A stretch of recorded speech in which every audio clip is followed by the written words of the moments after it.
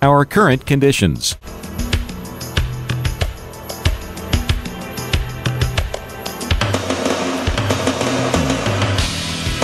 Our local observations.